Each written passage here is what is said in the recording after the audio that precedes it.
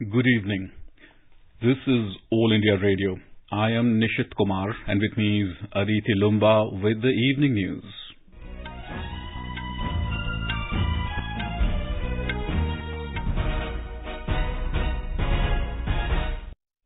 The headlines. Prime Minister Narendra Modi addresses BRICS Business Forum virtually, says India's digital economy to reach $1 trillion mark by 2025.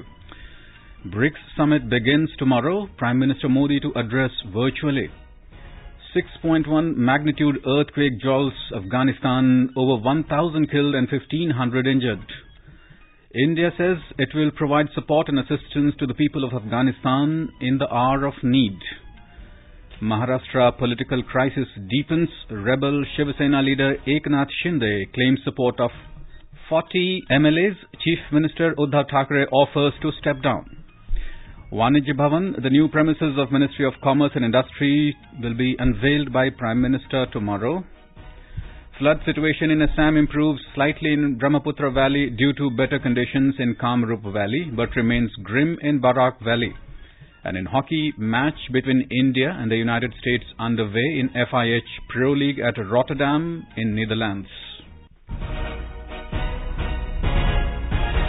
And now the news in detail. Prime Minister Narendra Modi has said that India supports innovation across every sector, including drones, green energy, and space. In a virtual address at the BRICS Business Forum, the Prime Minister said that the government expects the Indian economy to grow by 7.5% this year. आज जब पूरा विश्व post covid recovery पर focus कर रहा है तब BRICS देशों की भूमिका एक बार फिर बहुत महत्वपूर्ण रहेगी। महामारी से उत्पन्न आर्थिक समस्याओं से निपटने के लिए हमने भारत में रिफॉर्म परफॉर्म एंड ट्रांसफॉर्म का मंत्र अपनाया है। और इस अप्रोच के परिणाम भारतीय अर्थव्यवस्था के परफॉर्मेंस से स्पष्ट है इस साल हम 7.5 परसेंट ग्रोथ की आशा कर रहे हैं जो हमें फास्टेस्ट ग्रोइंग मेजर इकोनॉमी बनाता है Mr. Modi also said the value of the Indian digital economy will reach 1 trillion US dollars by 2025. Highlighting the strength of the Indian economy, he said there is an opportunity to invest 1.5 trillion US dollars under the country's national infrastructure pipeline. The Prime Minister added that India's success is based on technology-led growth with innovations and startups and even during COVID-19, the government emphasized on ease of living, building infrastructure with PM Gati Shakti and digital transformation and digital economy. Bharat की वर्तमान economic recovery का एक प्रमुख स्तंभ technology lead growth है हम हर sector में इनोवेशन को सपोर्ट कर रहे हैं। महामारी के दौरान भी भारत ने ईज ऑफ़ डूइंग बिज़नेस सुधारने के लिए अनेकों प्रयास जारी रखे। बिज़नेस पर कंप्लायंस बर्डन कम करने के लिए हज़ारों नियमों में बदलाव किया गया। सरकारी पॉलिसीज़ और प्रोसीडर्स में अधिक पारदर्शिता और स्थिरता लाने के लिए बड़े पैमाने पर काम हो रहा है।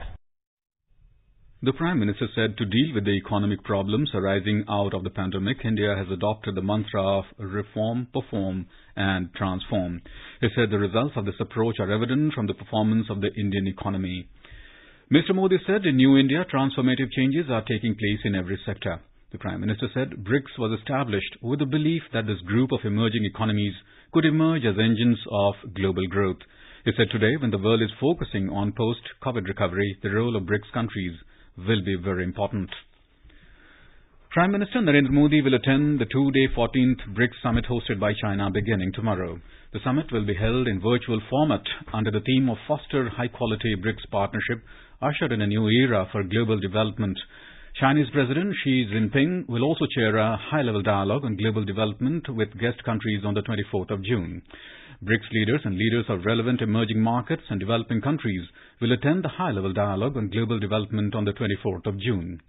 During the 14th BRICS summit, deliberations are expected to be held in areas like terrorism, trade, health, traditional medicine, environment, science and technology, innovation, agriculture, technical and vocational education, and training and micro, small and medium enterprises. Discussions are also likely to be held on issues like reform of the multilateral system, combating COVID-19 pandemic, and global economic recovery. In Afghanistan, over 1,000 people have been killed and 600 other injured following an earthquake of magnitude 6.1 which hit Paktika province this morning. Disaster management officials said the toll is expected to grow as information trickles in from remote mountain villages. Interior Ministry official Salahuddin Ayubi said authorities had launched a rescue operation and helicopters were being used to reach the injured and take in medical supplies and food. Today's quake was the deadliest since 2002. The landlocked country's eastern province of Paktika was the most affected, with reports of significant damage from the areas of Gyan, Nakai, Barmal and Zerak. In Khost province, the area of Seprai also bore the brunt of the early morning tremors. India has conveyed sympathy and condolences to the victims and their families and to all those impacted by the tragic earthquake in Afghanistan. In a tweet, the External Affairs Ministry spokesperson Arindam Bagchi said, India shares the grief of the people of Afghanistan and remains committed to provide assistance and support in this hour of need. Amid the deepening political crisis in Maharashtra, Chief Minister and Shiv Sena Supremo Uddhav Thackeray today asked the rebel Shiv Sena MLAs to come face to face to tell if they want him to quit from both the CM and party president posts rather than trolling him through media or social media. Speaking to people of the state via Facebook Live this evening, CM Thackeray said, A blow by own is what hurts the most. The Chief Minister asserted that under his leadership, the party is marching ahead on the path laid down by late Bala Saheb. Meanwhile, hectic political activities are on in Guwahati amongst rebel Shiv Sena legislators who reached the city this morning. Earlier in the day, rebel Shiv Sena leader Eknath Shinde held a meeting with his fellow legislators. A total of 40 Shiv Sena legislators, as claimed by Mr. Shinde, is camping in Guwahati amidst tight security. Three to four more Shiv Sena MLAs are likely to join them. It is learned that the meeting has discussed future course of action. The rebel leaders are unlikely to join hands with the MVA government. Mr. Shinde asserted that they are the staunch followers of the ideology of Balasaheb Thackeray and committed to follow his path of Hindutva. Shiv Sena, however, had decided to take disciplinary action against those MLAs who accompanied Eknath Shinde to Guwahati and remained absent for today's cabinet meeting chaired by Chief Minister Uddhav Thackeray. Prime Minister Narendra Modi will inaugurate the new premises of the Ministry of Commerce and Industry, Vanijya Bhavan, tomorrow at 10.30 a.m. During the program, Mr. Modi will also launch a new portal, Niryat, National Import-Export Record for yearly analysis of trade, which is developed as a one-stop platform for stakeholders to get all necessary information related to India's foreign trade. The Prime Minister will also address the gathering on the occasion. Constructed near India Gate, the Vanijya Bhavan is designed as a smart building which incorporates the principles of sustainable architecture with a special focus on energy saving. It will serve as an integrated and modern office complex that will be used by the two departments under the Ministry Department of Commerce and Department for Promotion of Industry and Internal Trade. Home Minister Amit Shah will attend the National Conclave of Scheduled and Multi-State Urban Cooperative Banks and Credit Societies on future role of urban cooperative credit sector in New Delhi tomorrow. The conclave will further strengthen the Prime Minister Narendra Modi's vision of Sehkar se Samriddhi. During the conclave, urban cooperative banks that have completed 100 years of service to society will be felicitated. There are 197 such banks in the country. Urban cooperative banks are among the oldest banking institutions in the country. The banks were managed by a cross-section of people from society that include teachers, lawyers, traders, doctors, engineers, social workers and others for providing banking services to their members. India and Australia today reviewed the existing defence cooperation activities, which have been increasing despite challenges of COVID-19 pandemic, and discussed ways to enhance further cooperation. Raksha Mantri Rajnath Singh and visiting Australian Deputy Prime Minister and Minister for Defence Richard Marles held a bilateral meeting in New Delhi today. During the meeting, they reviewed the defence and security pillars of the India-Australia Comprehensive Strategic Partnership.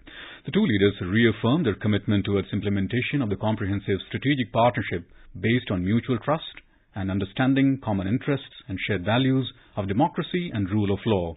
They also welcomed the growing diversity and frequency of defense exercises and exchanges between the two countries and undertook to build upon operational engagements through India-Australia Mutual Logistics Support Arrangement.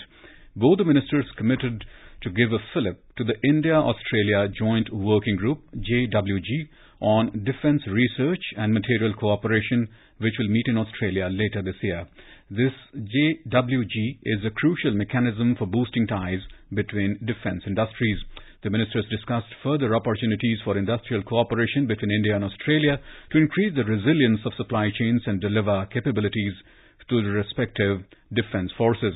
Both sides also agreed to explore means to grow connections and opportunities between Indian and Australian defense industrial bases.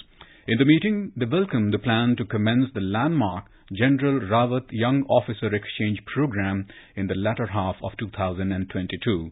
The ministers also reviewed strategic challenges and the regional security situation and reaffirmed their shared objective of an open, free, inclusive, prosperous, and rules-based Indo-Pacific region.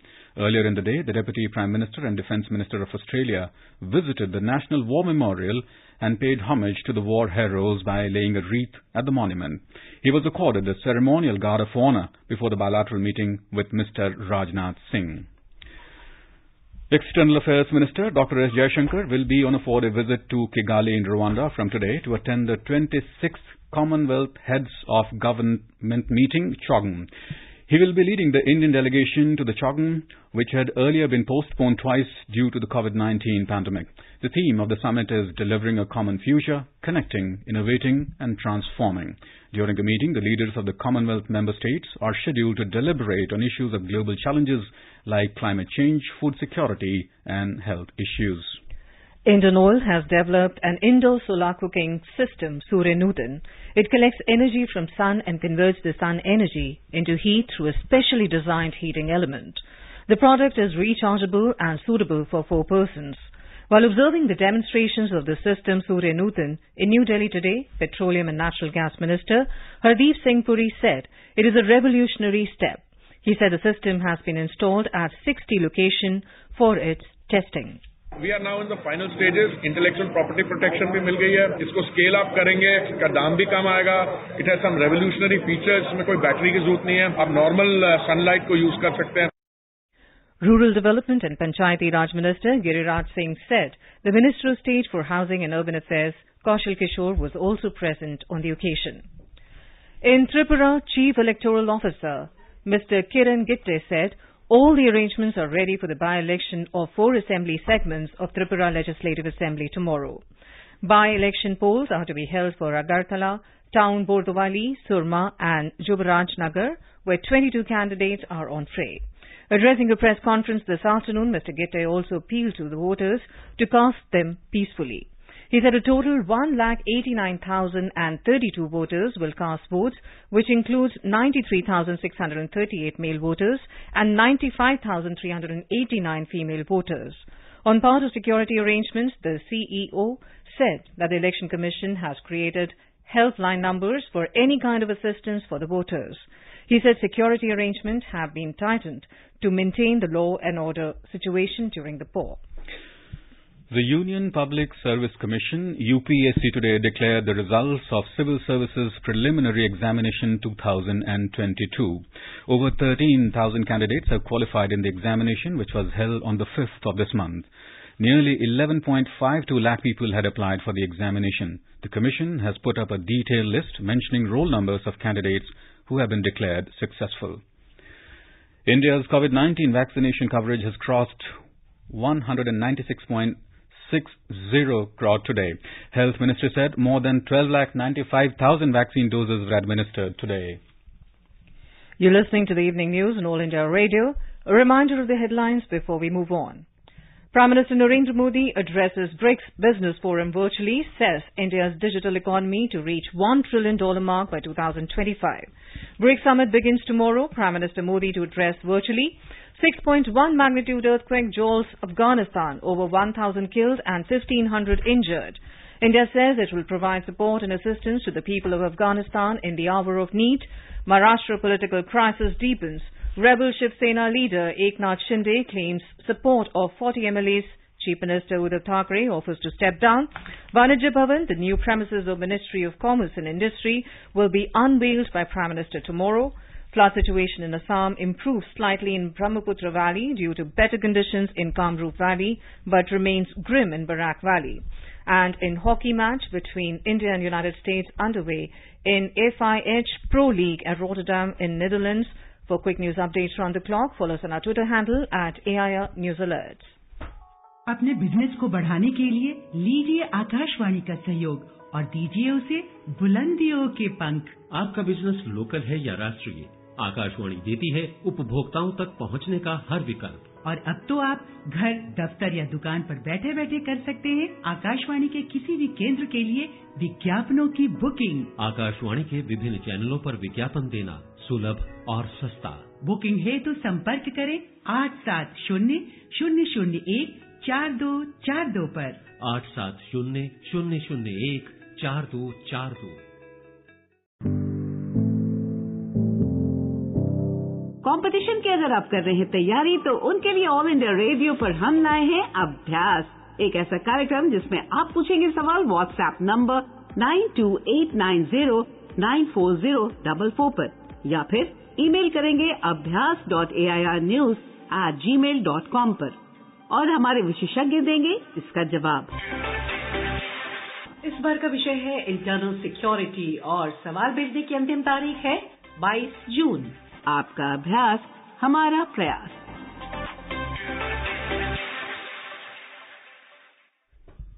Welcome back. You are tuned to the evening news on All India Radio. Prime Minister Narendra Modi will be on a three-day visit to Germany and UAE beginning on the 26th of this month. He will visit Schloss Elmau, Germany for the G7 summit under the German presidency on the 26th and the 27th of this month. During the summit, he is expected to speak in two sessions that include environment, energy, climate, food security, health, gender equality and democracy. In an effort to strengthen international collaboration on those important issues, other democracies such as Argentina, Indonesia, Senegal and South Africa have also been invited. The G7 countries are Canada, France, Germany, Italy, Japan, the United Kingdom, the United States and the European Union. On the sidelines of the summit, Mr. Modi will hold bilateral meetings with leaders of some of the participating countries. The invitation to the G7 summit is in keeping with the tradition of strong and close partnership and high-level political contacts between India and Germany. After attending the G7 summit, Prime Minister Modi will be traveling to the United Arab Emirates on the 28th of this month to pay his personal condolences on the passing away of the former UAE President Sheikh Khalifa bin Zayed Al Nahyan. He will also take the opportunity to congratulate Sheikh Mohammed bin Zayed Al Nahyan on his election as the new President of the UAE and ruler of Abu Abu Dhabi. The Prime Minister will depart from UAE the same night. And now let's listen to our special program, Azadi Ka Safar, highlighting the importance of the day during the freedom struggle. Azadi Ka Amrit Mahotsav.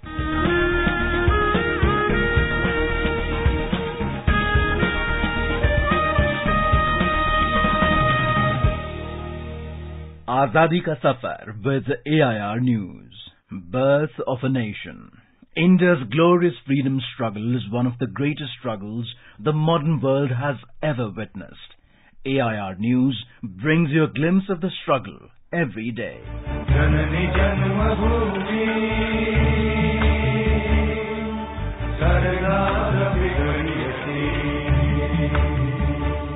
Twenty-second of June, 1900, is the birth anniversary of freedom fighter Ganesh Ghosh.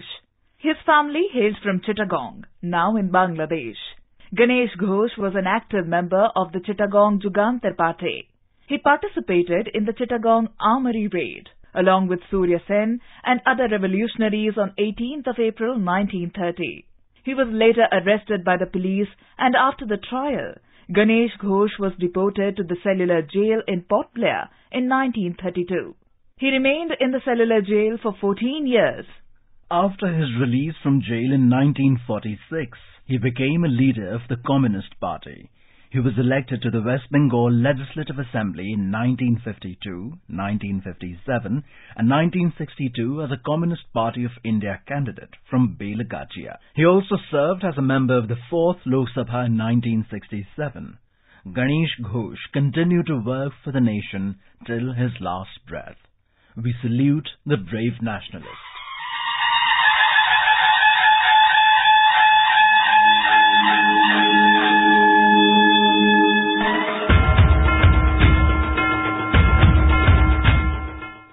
On 22nd of June 1897, the Chapekar brothers shot the British Plague Commissioner W.C. Rand. The brothers, namely Damodar Hari, Balakrishna Hari, Vasudeva Hari, belonged to Chinchwad in the city of Pune, India. When the bubonic plague hit India in 1896-97, the government had set up a special plague committee for managing the pandemic, whose commissioner was Walter Charles Rand. सेनापती रँड बेदरकार लोकांवर जुलूम अत्याचार दुष्ट नीतीचं होत सरकार जी जी, जी, दुष्ट नीतीचं होत सरकार जी Commissioner Rand took barbaric steps in the name of preventive measures. Troops were brought in to deal with the emergency. The measures employed included entry into private houses, stripping and examination of occupants, including women, by British officers in public, evacuations to hospitals and segregation camps. He even refused to pay heed to religious sentiment and enter temples and mosques. These measures were considered oppressive by the populace of Pune and complaints were ignored by Rand. Thus, to put an end to the injustice borne by the people of Pune, the Chapekar brothers decided to take revenge. Damodar पहिला क्रांतिकारी करतो तयारी मर्दाची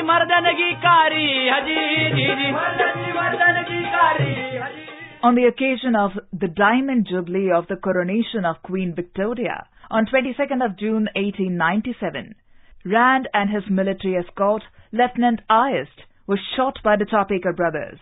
Ayerst died on the spot and Rand died of his wounds on 3rd of July. The Chapekar brothers and their two supporters were charged with the murders. All three brothers were found guilty and hanged. AIR News salutes the brave sons of the soil.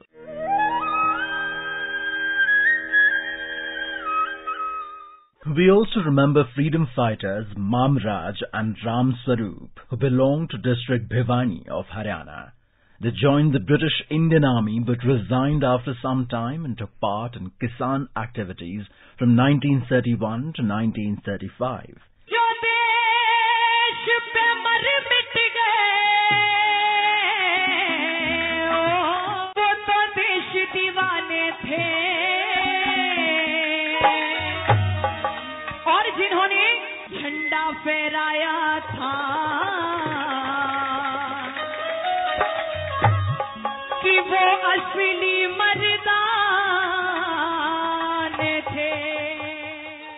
They were involved in an attack on the British police. They were also involved in the murder of an informer of the Nawab. They remained underground for some time, reached Ambala cantonment and stayed there with some soldiers from their villages. Finally, they were arrested in June 1937 and sent to Loharu fort and charged with murder and dacoity. Mamraj and Ramswaroop were hanged on 22nd of June 1938. AIR News salutes the brave sons of the soil. That brings us to the end of this episode of Azadi Ka Safar with AIR News. See you in the next episode tomorrow.